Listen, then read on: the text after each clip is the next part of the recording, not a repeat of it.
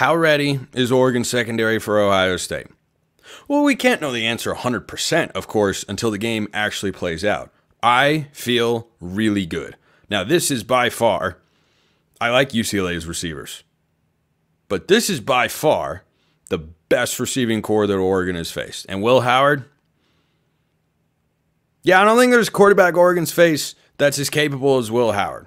Is he going to go CJ Stroud 350 to 400 yards or so? No, he's not that sort of guy. That's not the way that Ohio State has has played football this year. They've got a great rushing attack, and then Will Howard is a really capable, really solid, complementary quarterback that is a veteran who can make some really, really good throws. He's not going to wow you all the time, but you might look up at the end of the game and go, wow, he had 260 yards, two touchdowns, no interceptions, and he completed 74% of his throws. He can do that if you don't move him off his spots, and he can move a little bit as well. But this question came from a Locked On Ducks insider, which you can become for a free 14 day trial link in the description below. Get priority mailbag access, all sorts of other perks as well. Or get in the mailbag the old fashioned way, YouTube comments, or on X, formerly known as Twitter. Hey, Spencer, you touched on the D line. I know you feel good about our defense overall. Indeed, I do. But what is your take specifically on Muhammad and Reed being able to cover Smith and Egbuka. I was hoping by this time we would have Florence back to help in coverage. Yeah, Jahlil Florence coming into the season, if healthy, would have been my number two starting corner for the Ducks. It's been Nikko Reed and Dontae Manning going back and forth on the outside. Brandon Johnson in the slot, I feel awesome. Jabbar Muhammad, I feel good. I don't think Muhammad has been at his very best just yet. I think he's gotten better as the season has gone on. I definitely trust Jabbar Muhammad a lot more on an island than I do Nikko Reed. And this is going to be the chess match that, you know, at some level exists in every football game, but especially in this one. Nikko Reed and Dontae Manning have both had some really good moments this year. The secondary in a whole has played awesome football. If you tell me right now Jeremiah Smith is one on one with either of those guys, I hate that matchup.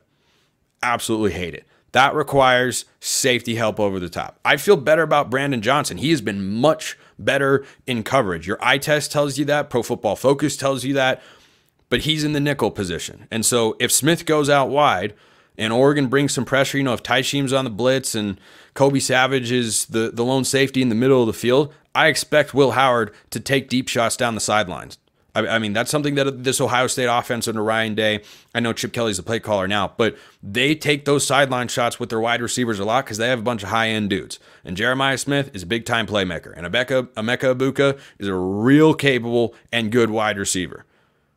So in that scenario, I don't feel as good. With Muhammad, I think at some point you have to be able to trust him. That, that's what you brought Jabbar Muhammad in for. And I, I'd say I feel a solid seven out of 10 about Muhammad, but I'm closer to a four or a five if, if Reed or Manning are on an island against those guys. Because those are NFL caliber wide receivers. And, you know, Manning and Reed, they've done some great things this year in coverage and played really well. I've seen them against NFL caliber wide receivers. I've also seen Jabbar Muhammad against NFL caliber wide receivers. He got beat a little bit last year in Seattle against Troy Franklin, and he put the clamps on him in the Pac 12 championship game. Nikko Reed, Dontae Manning, on the other hand, tended to get beat or have pass interference or holding. So I think that those guys specifically, I'd want safety help over the top. But then if you're rolling a safety there, does that leave you with a lighter box to stop the run where you have a couple of elite running backs for Ohio State in TreVeyon Henderson and Quinshon Judkins?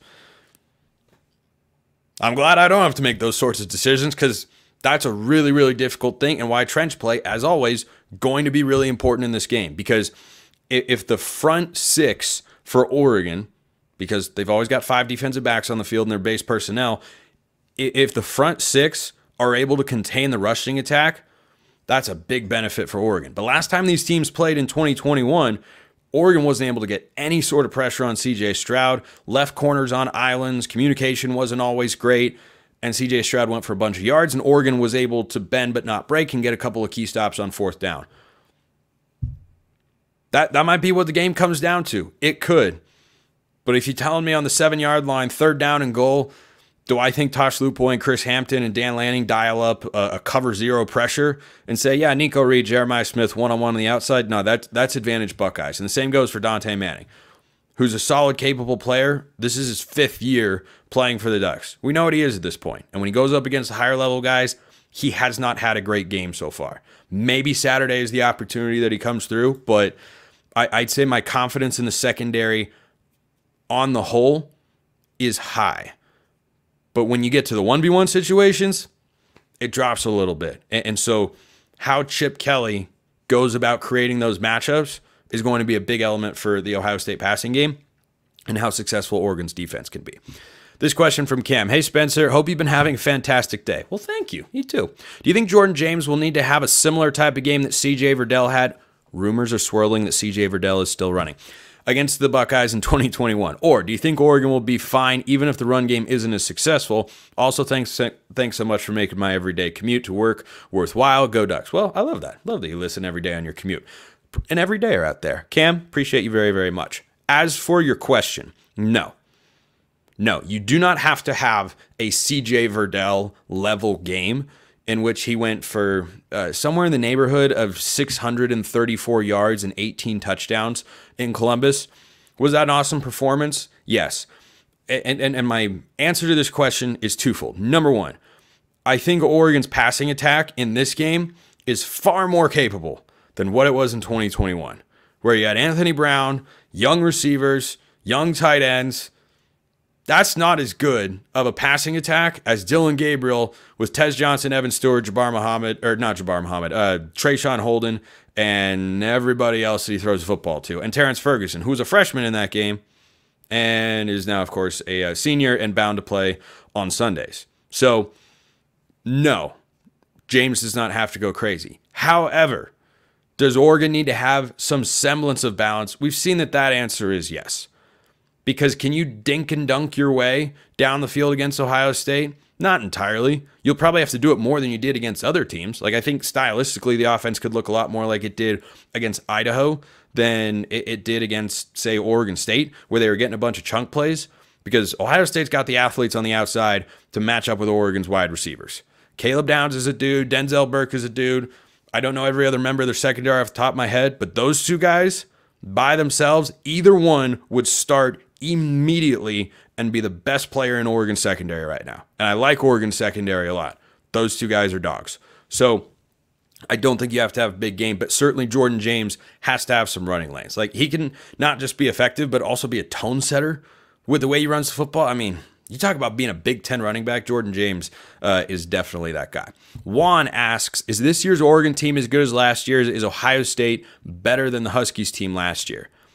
I think Oregon's on a similar level. I don't think this Ohio, I think this Ohio State team is different than last year's Washington team.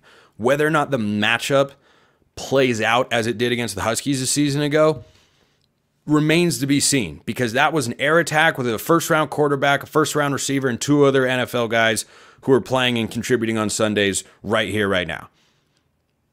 That's not what this Ohio State team is. They, they've got a couple NFL caliber wide receivers. It's not the same level of passing attack as Penix and those guys.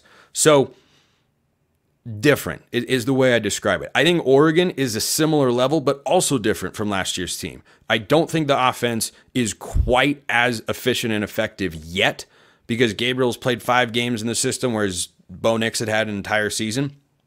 I do think that this defense is better than last year. You have individuals who are better. You have a secondary that is playing at a higher level, and the numbers back that up. Oregon is yet to allow a 200 yard passer. Have they played any passing attack as good as Ohio State's? No, definitely not. I don't think last year's team started with the first five games not allowing 200 plus yard passer. I think Tyler Shough went for, don't remember exactly off the top of my head. It was definitely over 200 yards.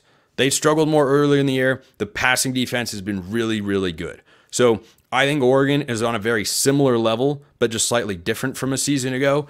I think Ohio State is capable of playing the same level that Washington did last year, but they also do it different stylistically. And so it's not going to look exactly the same. But yeah, Washington last year was one of the five best teams in college football. And Ohio State this year, probably one of the five best teams in all of college football. And if Oregon beats them, they prove that they belong in that class as well. Love the YouTube comments, love the DMs, love the insider messages. However, you want to get in the mailbag, keep them coming this week.